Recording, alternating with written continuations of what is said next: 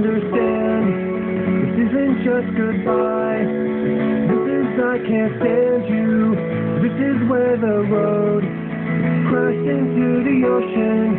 It rises all around me, and now we're barely breathing. A thousand faces will choose to ignore.